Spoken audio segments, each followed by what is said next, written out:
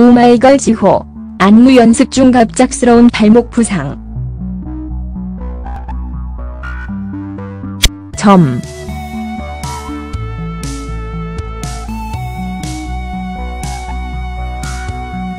오마이걸 지호가 9일 오후 서울 중국 명동 신세계 매사홀에서 열린 오마이걸 다섯 번째 미니 앨범 비밀정원 발매 쇼케이스에서 부축을 받으며 입장하고 있다. 타이틀곡 비밀정원은 아직은 보이지 않지만 자신의 꿈을 담은 비밀정원을 키워나가는 소녀들의 이야기를 담은 곡으로 리드미컬한 록 기반 트랙 위에 동양적이고 신비로운 멜로디를 오마이걸만의 감성 보컬로 표현한 곡이다.